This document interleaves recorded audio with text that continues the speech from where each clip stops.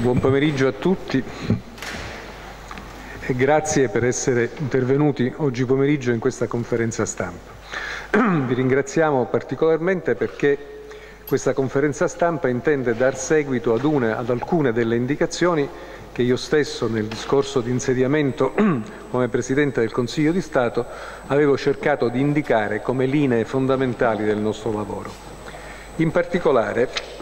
proprio nel discorso di insediamento come Presidente del Consiglio di Stato avevo richiamato l'attenzione sull'importanza strategica per tutte le istituzioni moderne attuali per la funzione di comunicazione istituzionale. Avevo scritto che la funzione di comunicazione istituzionale è essenziale per meglio trasmettere i contenuti della nostra attività, per spiegare in modo trasparente le ragioni delle nostre scelte, per comprendere ciò che il Paese si aspetta da noi. Quindi tre parole chiave. Trasmissione dei contenuti del nostro pensiero, della nostra attività, trasparenza nelle ragioni delle nostre scelte, a nostra volta comprensione e conoscenza di ciò che il Paese si aspetta dalle istituzioni. Una, una, comunicazione istituzionale sobria nelle forme e nei contenuti appare indispensabile, dicevo, per una maggiore trasparenza e per scongiurare il ripetersi di episodi, purtroppo non infrequenti nel passato, di non adeguata comprensione del significato giuridico di alcune decisioni. Ancorché le pronunce dei giudici amministrativi abbiano un elevato contenuto tecnico, occorre tuttavia che il senso dei provvedimenti, in particolare quelli che più incidono sul tessuto sociale, sia fatto conoscere ed esternato in maniera corretta, affinché i cittadini siano sempre in grado di controllare il nostro operato. Nello stesso discorso introduttivo io avevo richiamato l'attenzione su un altro fenomeno importante, sulla partecipazione del Consiglio di Stato attraverso la propria funzione consultiva al processo di riforme amministrative e istituzionali in atto. Avevo detto proprio che il Consiglio di Stato è chiamato in questi giorni a fornire il proprio contributo nella fase di predisposizione di importanti atti normativi che si apprestano a trasformare in modo profondo l'assetto dell'amministrazione e i suoi rapporti col cittadino. Anche qui quindi tre parole d'ordine. Processo di eh, cambiamento del Paese, quindi processo di riforma, trasformazione dell'amministrazione come servizio al cittadino primazia del cittadino nei confronti di qualunque altra indicazione, quindi la primazia del cittadino nei suoi rapporti con il potere pubblico. Ebbene, questa conferenza stampa di oggi, vi, eh, che, per la quale io vi sono grato alla vostra partecipazione, intende proprio dare corpo e sostanza a queste parole, fare seguito a queste parole che io avevo indicato nella relazione introduttiva. Perché vogliamo in qualche modo comunicare innanzitutto ai mezzi di comunicazione, ma e poi ai cittadini in generale, quello che è stato l'attività in un certo senso eccezionale e straordinaria che ci siamo trovati a compiere, a porre in essere e realizzare in questi primi mesi di attività. Intendo riferirmi a importanti pareri che sono stati resi con riferimento a importanti processi di cambiamento, processi di riforma in atto nel nostro Paese. Si tratta delle riforme della pubblica amministrazione riguardanti la legge, cosiddetta legge Madia e delle riforme che riguardano i contratti pubblici, il nuovo codice dei contratti pubblici. Due riforme strategiche sostanzialmente per il futuro del nostro Paese Sappiamo tutti che la questione amministrativa è una questione che è ricorrente nell'agenda dei governi ed è estremamente importante perché dalla qualità dell'amministrazione dipendono ad un tempo l'efficienza del sistema economico e anche diciamo, la qualità del rapporto del potere pubblico con il cittadino. È estremamente importante è la riforma che riguarda i nuovi contratti pubblici, il recepimento delle direttive comunitarie in materia di contratti pubblici, perché il, il, diciamo, il, settore dei contratti pubblici è strategico, più di 10% del PIL, e perché è un luogo dove è necessario in modo particolare trasparenza e capacità di contrastare la mala amministrazione, di contrastare la corruzione. Che cosa ha fatto il Consiglio di Stato in questi, eh, in questi mesi? Su richiesta del Governo, che è l'interlocutore istituzionale del Consiglio di Stato in questi casi, su questi processi di riforma,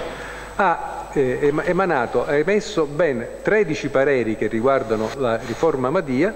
dagli oggetti più complessi, più disparati, che vi saranno poi illustrati nei interventi precedenti,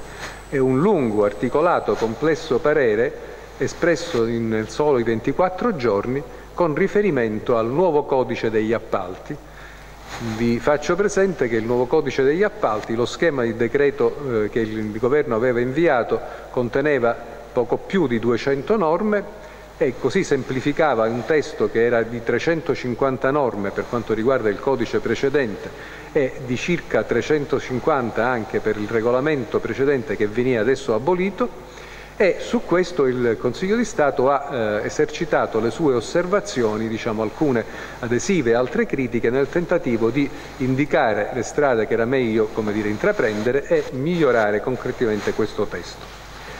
Questo significa sostanzialmente che noi abbiamo, siamo, siamo stati in condizione di dare, nonostante le difficoltà che tutti conoscono su quelle che sono la, eh, dire, le questioni dei nostri organici, questo tipo di contributo in un tempo che effettivamente è un tempo dire, assolutamente eh, notevole. Il Presidente Carbone nel, te nel, terzo intervento di questa giornata vi illustrerà in modo più nel dettaglio questo, questo, questi tempi sostanzialmente delle nostre riforme. Qui io voglio soltanto ricordare che appunto, il Consiglio di Stato ha licenziato 13 pareri, di cui ancora 3 in corso di pubblicazione, ha esaminato quasi 500 articoli di legge, ha sostanzialmente redatto una serie di, eh, diciamo, eh, com, com, redatto una serie di pareri che nel loro complesso ammontano a circa 640 pagine di, appunto, di, di scritto.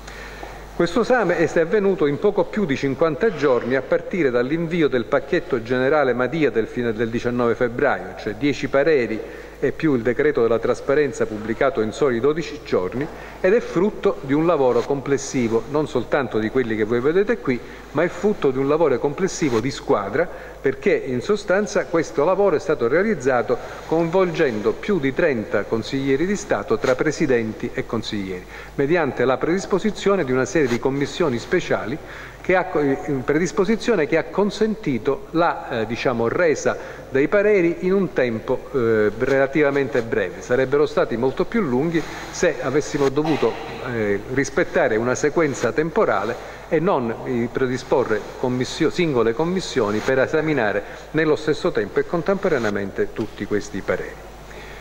Io credo che questo contributo vada oggi sottolineato senza enfasi, ma neanche senza negarne la qualità, perché può nel nostro piccolo rappresentare un segno importante di quel cambiamento del modo di funzionare delle istituzioni pubbliche che l'opinione pubblica richiede e che più spesso, sempre più spesso la stampa ha sottolineato. Si tratta in qualche modo di ricordare eh, esperienze eh, diciamo, positive e virtuose in un momento in cui ovviamente non mancano le esperienze di altro genere. Questo non significa che le cose che noi faremo saranno sempre di questo genere, significa soltanto che vogliamo in qualche modo eh, diciamo, far conoscere questi contenuti perché questi contenuti eh, siano, eh, con, eh, siano resi noti al Paese.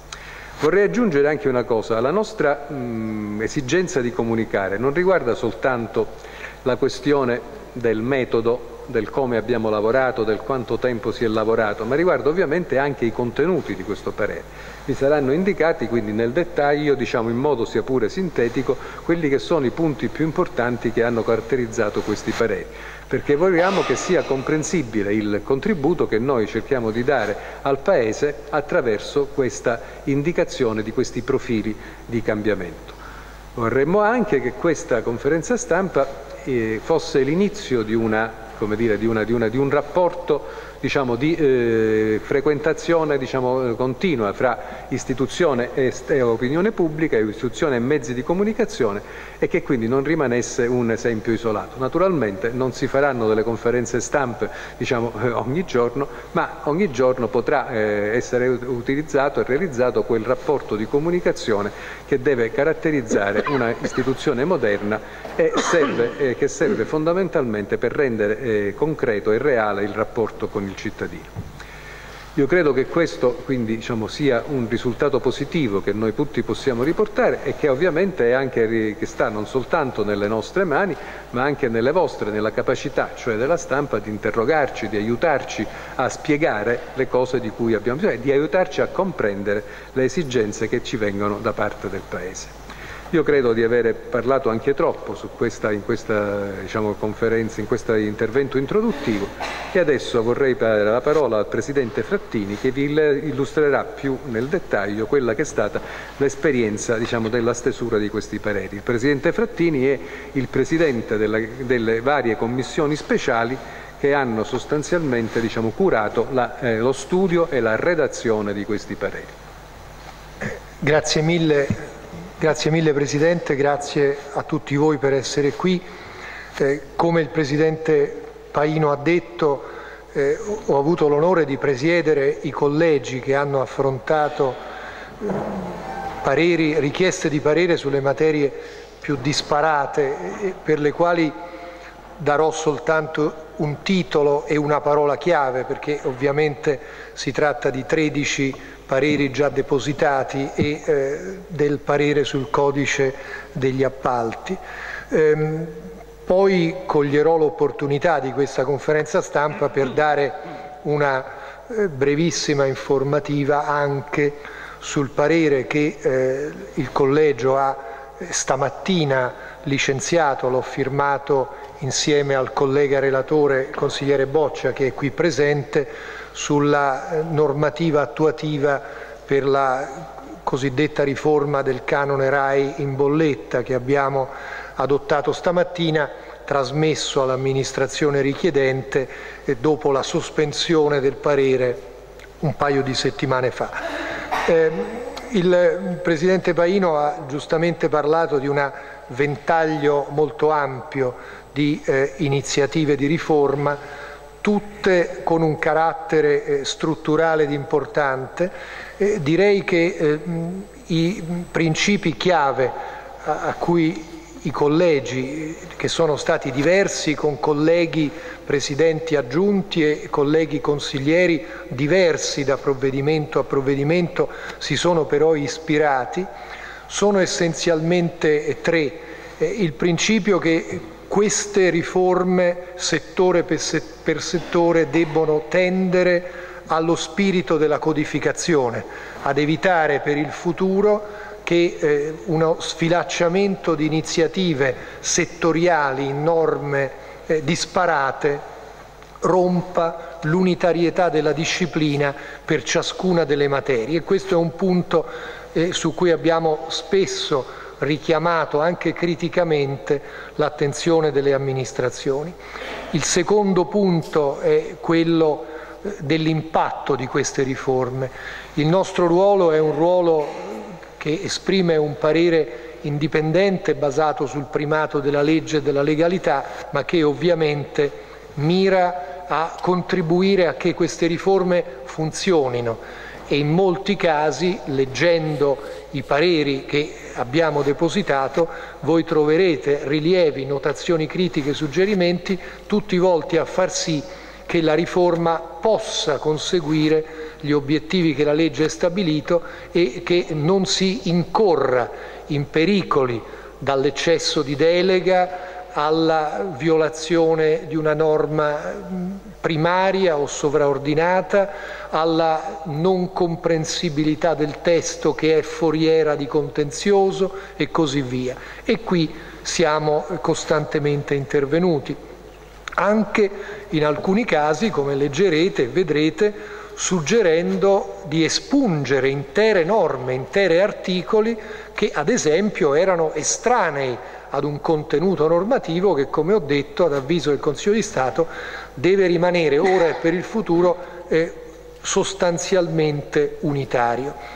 Il terzo pilastro, diciamo così, è di valutare l'impatto che la riforma avrà sul tessuto economico-sociale, il Presidente Carbone sarà più preciso su questo, e verificare ex post che la riforma abbia funzionato. Quante riforme eh, largamente pubblicizzate si sono poi arenate nella fase applicativa. I titoli di queste riforme. Abbiamo cominciato con una eh, riforma direi epocale davvero per questo istituto e per la giustizia amministrativa, il cosiddetto processo telematico. Sembra eh, una parola per addetti ai lavori, ma insomma dal primo luglio dinanzi ai TAR, tutti i TAR e al Consiglio di Stato non vi sarà nessun atto del processo che non sia telematico. Quindi lo diciamo con un po' d'orgoglio, è uno sforzo straordinario che la Presidenza e il segretario generale, il Presidente Torsello, stanno compiendo, era un vincolo di legge, abbiamo redatto il parere affinché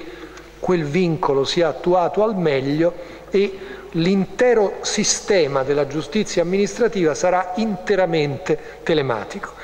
Poi il cosiddetto pacchetto Madia, il cosiddetto decreto eh, trasparenza e prevenzione della corruzione. Qui eh, una parola chiave importante è stata e eh, auspichiamo che verrà raccolta in pieno eh, se il cittadino chiede eh, di accedere a un atto a un documento non gli si risponda con il silenzio da parte dell'amministrazione, quindi sempre provvedimenti espliciti, sempre motivazione del perché non si può accedere quando il Freedom of Information Act a cui si ispira questa riforma mai ha ipotizzato nel sistema americano che a una richiesta di un cittadino si risponda con la semplice inerzia costringendo il cittadino ad andare a ricorrere davanti al giudice. Codice dell'amministrazione digitale, una riforma anch'essa grandemente rivoluzionaria che regolerà rapporti tra cittadino e amministrazioni esclusivamente con la strumentazione telematica e qui vi sono cose che toccano la vita quotidiana dell'utente. Abbiamo formulato dei rilievi a cui l'amministrazione sta rispondendo, immagino che risponderà positivamente sul ruolo della firma digitale. Che ruolo giuridico ha? Che valore ha la firma digitale? Ha un ruolo generale? Lo ha limitato a certi effetti o no? E le imprese che possono svolgere ruoli, ad esempio in questo settore, debbono avere una dimensione minima per accedere a questo mercato nell'ambito del codice digitale ed è un limite tanto grande che freni la eh, libertà di accesso a questo mercato, ecco, parole chiave che però spiegano che cosa abbiamo fatto. Società partecipate, parere è stato recentemente depositato, qui le parole chiave sono ovviamente una eh, generalità di questa disciplina, un sistema che preveda come lo svolgimento attraverso una società pubblica sia vincolato nei fini, non si può creare una società pubblica solo come strumento per eludere i principi generali di concorrenza, le regole di responsabilità che si applicano a tutte le società pubbliche, un accento particolare sullo strumento in house spesso usato per eludere e per escludere che il Consiglio di Stato ha sottolineato nella sua eccezionalità. È un parere molto complesso di decine di pagine, ma qualche parole chiave è qui. E poi l'accelerazione delle procedure,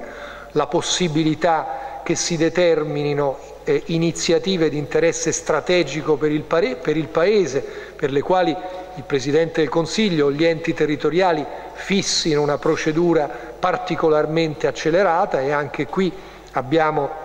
apprezzato l'obiettivo riformatore, il tema particolarmente caldo del licenziamento dei dipendenti assenteisti e qui abbiamo dovuto necessariamente suggerire delle modifiche importanti per evitare che l'obiettivo assolutamente meritorio di colpire con un licenziamento accelerato l'assenteista fosse poi vanificato da eh, buchi normativi che avrebbero facilmente permesso al dipendente assenteista di impugnare e di ottenere magari l'annullamento con vanificazione della riforma. Quindi la riforma deve funzionare e per funzionare deve essere inattaccabile sotto il profilo della legittimità e quindi abbiamo svolto, e il testo è pubblicato, dei rilievi anche abbastanza approfonditi. La SCIA e la conferenza dei servizi, due pareri che sono stati presieduti nel collegio dal Presidente Carbone, se vorrà eh, ovviamente darà qualche indicazione più precisa, è quasi eh, pronto per la pubblicazione il parere estremamente importante sui servizi pubblici locali, sul quale ovviamente non dico perché non è ancora pubblicato, l'altro egualmente importante su cui abbiamo già deciso, ma il parere non è depositato, la riforma delle forze di polizia che prevede tra l'altro la soppressione del corpo forestale che confluisce nell'arma dei carabinieri, sarà presto pubblicato e lo leggerete, e infine le autorità portuali e le nomine ASL, due tematiche su cui la sottrazione alle, alle, influenze della politica è obiettivo primario della legge, a cui i pareri, anch'essi in corso di pubblicazione, ovviamente aderiscono quanto all'obiettivo con dei suggerimenti puntuali. Del codice degli appalti è difficile parlare in un flash perché si tratta di oltre 200 pagine di motivazione, ma certamente la linea guida che ci ha condotto con il lavoro di tanti colleghi, alcuni qui presenti, la Presidente De Nictolis ha lavorato moltissimo con gli altri colleghi su questo, un codice degli appalti che dia unità al sistema, eviti l'esistenza di norme, come ho detto, sparse in leggi settoriali, realizzi l'obiettivo europeo di unificare i tre settori in un unico codice e ovviamente le direttive europee hanno avuto per noi la funzione di parametro, anche di riferimento per la normativa che abbiamo esaminato, trasparenza, eliminazione di norme elusive, riaffermazione della regola che l'offerta economicamente eh, più vantaggiosa è il principio e il prezzo più basso è l'eccezione, ci risulta e abbiamo visto dal testo pubblicato che il Governo si è attenuto alla larga maggioranza delle osservazioni anche critiche che avevamo formulato, ma non a tutte. C'è uno spazio, come voi sapete, per interventi correttivi che sono di competenza del Governo. Da ultimo una parola sul canone RAI. Stamani eh, ho firmato con il collega relatore il provvedimento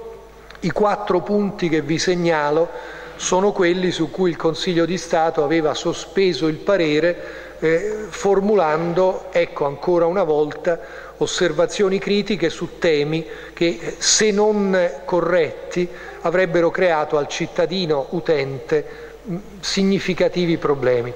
L'amministrazione ha raccolto tutti i eh, suggerimenti e le proposte del Consiglio di Stato nella sostanza, la conseguenza è che oggi vi è chiarezza con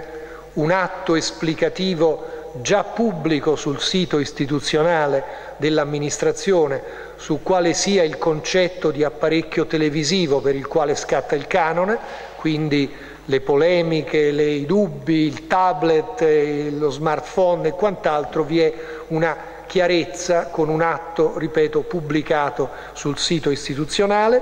Vi è certezza e conferma dall'amministrazione che non vi è dubbio che se vi sono più apparecchi comunque il canone è uno e non vi sono più canoni, c'è una conferma formale che noi avevamo chiesto all'amministrazione che ci aveva chiesto il parere.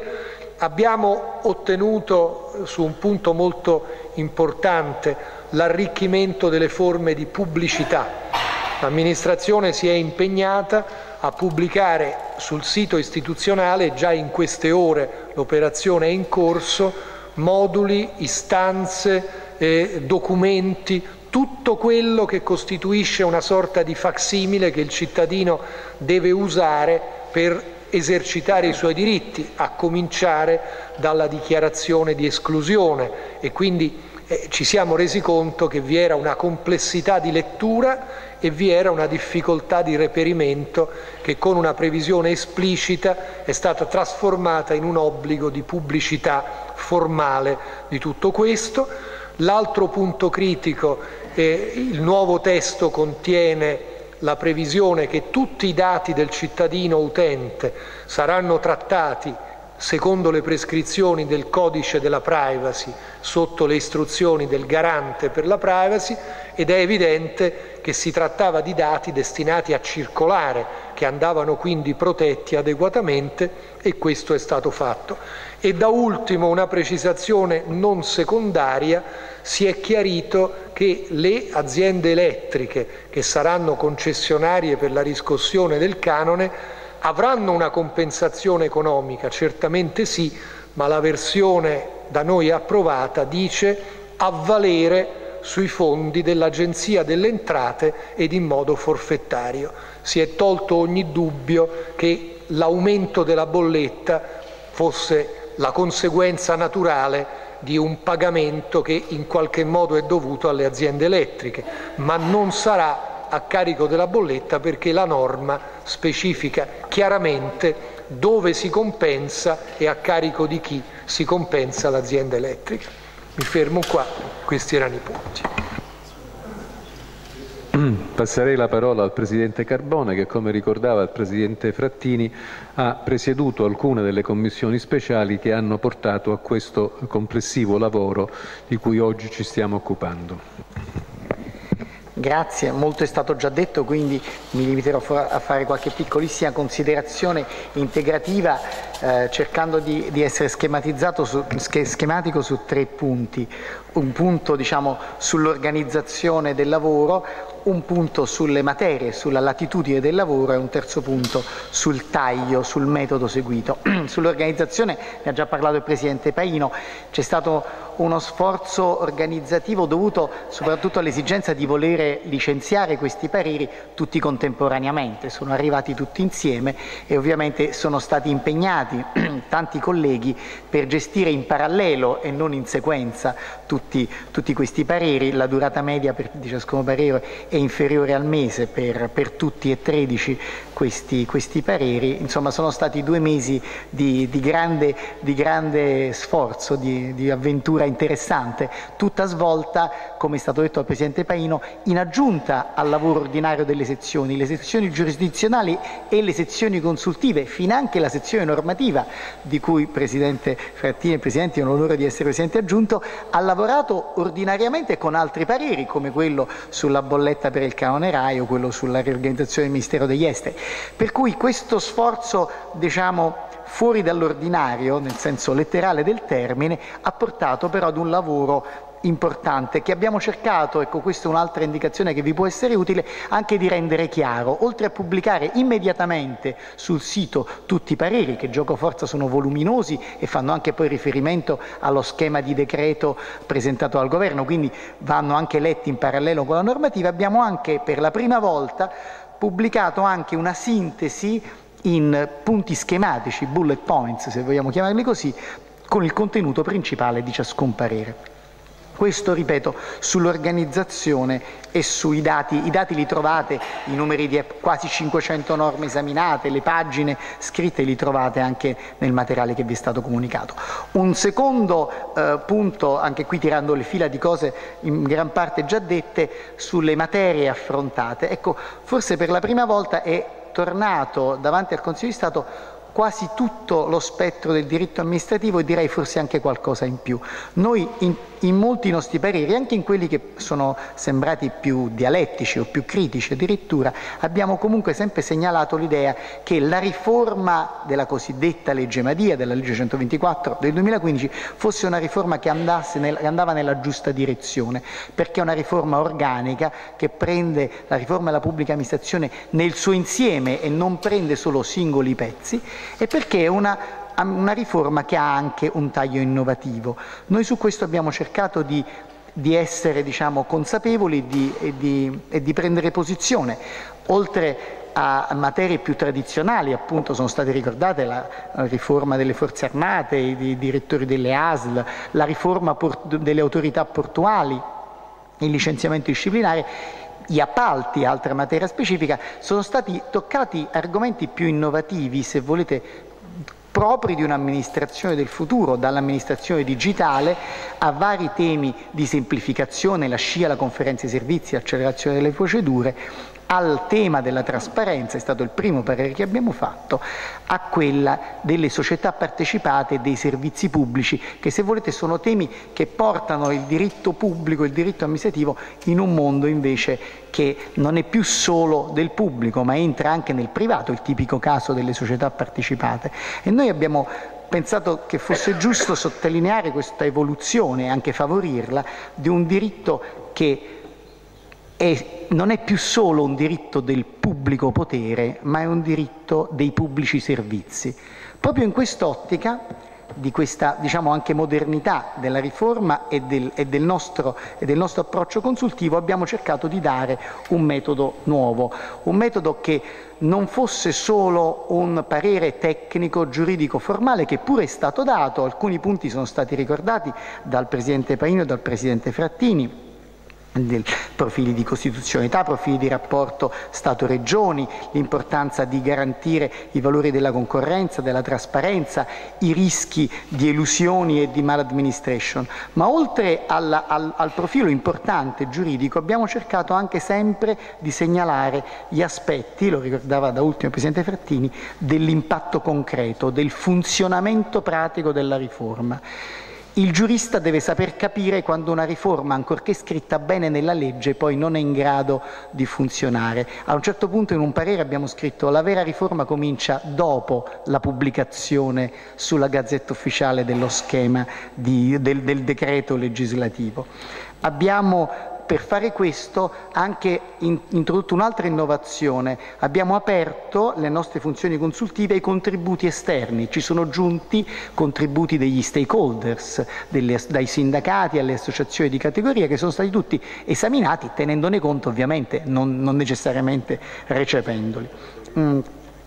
ultimissimo eh, flash sulla, eh, sulla, sulla, sulla parte dell'attuazione, della manutenzione delle riforme abbiamo suggerito l'istituzione di una cabina di regia che facesse una verifica ex post di quello che è il funzionamento di una riforma, perché molto spesso si annuncia, si prevede, ma poi non si vede se funziona nella pratica. Un ultimo accenno mi piace farlo sulla formazione, in uno dei nostri pareri, in particolare quello sulla conferenza di servizi, che è stata modificata dieci volte nel giro di vent'anni, in tutte le legislature e da quasi tutti i governi che si sono succeduti, a un certo punto abbiamo detto siamo certi che questa riforma sarà quella giusta e noi abbiamo fatto di tutto con il nostro parere per, per renderla il più giusta possibile, ma forse c'è da chiedersi se oltre a cambiare le norme non bisogna anche cambiare i piloti che guidano la macchina, trovare le persone, i dirigenti con una formazione attenta che sia in grado di fare funzionare le norme pur ben scritte, altrimenti si impallerà sempre la conferenza. Grazie.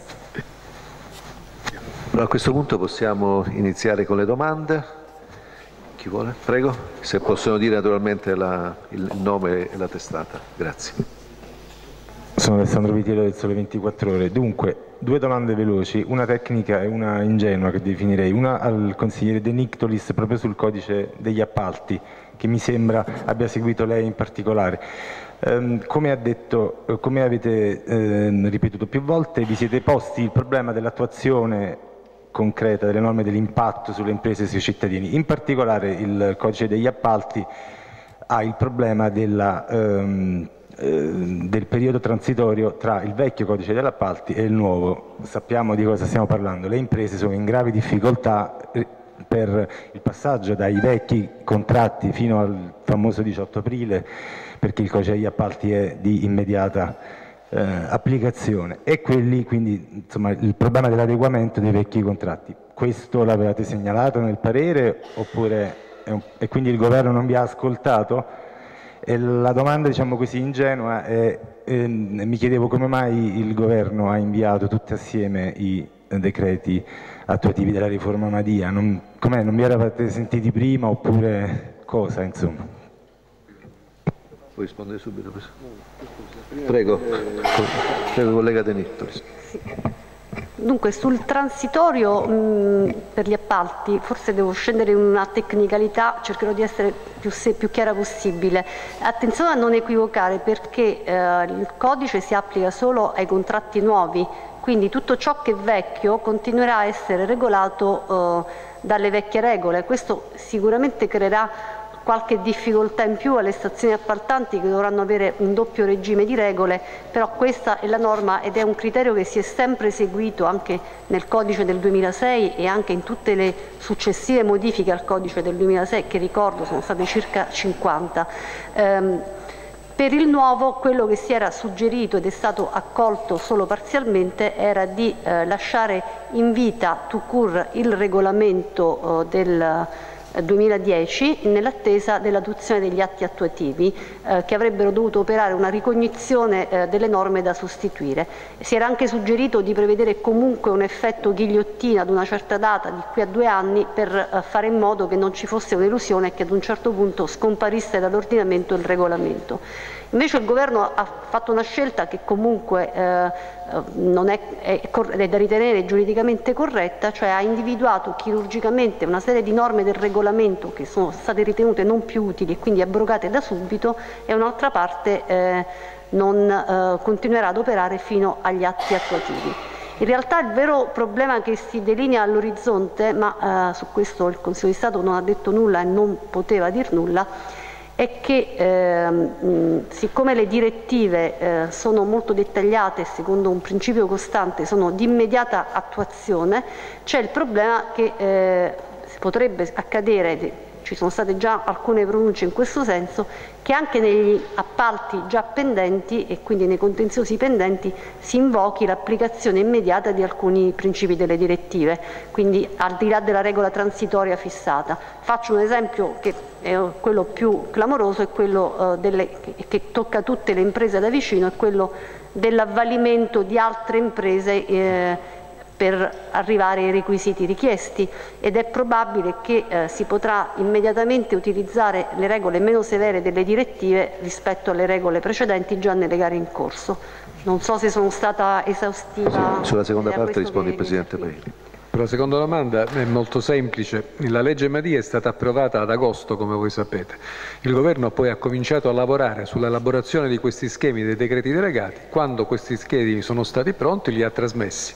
E nel frattempo, come voi sapete, decorrono i termini per l'esercizio della delega, quindi il Governo ha prima approntato i testi e successivamente, non appena approntati, li ha mandati sostanzialmente al Consiglio di Stato. L'operazione non è finita perché i decreti delegati dalla riforma Badia sono circa una ventina, ne sono stati già mandati praticamente 11 e quindi aspettiamo i prossimi nei prossimi giorni e quindi questo è un meccanismo che è naturale lì dove c'è una legge di delega e poi l'adozione di una serie di decreti delegati. Anzi, bisogna dire che questo invio in termini più o meno contemporanei ha consentito a noi stessi di avere un quadro d'insieme, non semplicemente c'è un quadro dato dal solo dalle norme della legge di delegazione, ma anche dal modo come queste norme erano state interpretate ed applicate e riportate in ciascuno dei decreti delegati. Aggiungo poi che in questo stesso periodo è, pervenuto il parere sullo schema dei contratti pubblici, sullo schema, de, del, schema per, i, per, il parere riguardanti il nuovo codice degli appalti. Voi sapete che questo codice degli appalti doveva essere in gazzetta ufficiale entro il 18 aprile di quest'anno ed è appunto stato entrato in gazzetta ufficiale prima di questo termine. Prego.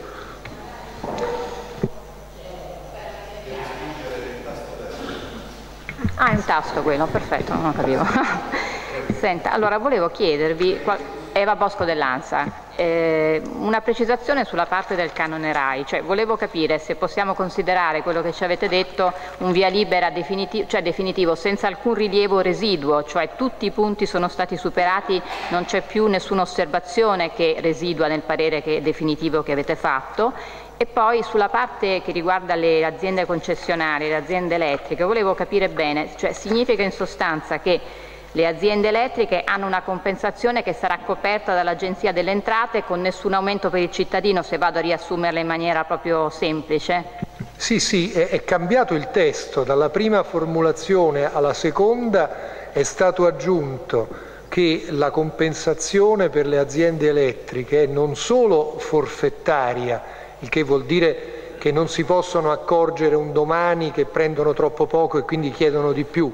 ma eh, è a valere sugli stanziamenti e sui fondi che in bilancio sono destinati all'Agenzia delle Entrate. Questa è una precisazione che è stata introdotta non a caso nella seconda versione del testo. Noi abbiamo dato un parere favorevole, abbiamo, quindi il testo è eh, approvato, eh, abbiamo introdotto un eh, suggerimento che ci auguriamo l'amministrazione accolga, che è quello di rendere direi eh, ordinaria e ad amplissimo spettro la pubblicità di tutti gli atti, moduli, modelli e quant'altro, non solo in questa prima fase di applicazione, ma tutto quello che a regime dovranno fare i cittadini sulla base di atti e di, e di documenti predisposti ivi comprese le istruzioni dell'amministrazione, noi abbiamo detto vengano pubblicate con la massima diffusione possibile anzitutto sui siti istituzionali e vengano pubblicate con un linguaggio chiaramente comprensibile ai non addetti ai lavori. Questo lo abbiamo introdotto eh, ed è assolutamente compatibile con il parere favorevole perché non è un vizio del provvedimento, ma è un auspicio che, ripeto, l'amministrazione non dovrebbe avere alcuna difficoltà ad accogliere, tanto che ci risulta che primi, le prime istruzioni le stanno già pubblicando sui siti istituzionali, quindi, mentre prima nella versione precedente questo non era detto. Ecco. Altre domande? Nessun'altra domanda? Va bene. Allora, grazie, allora, grazie, grazie a tutti.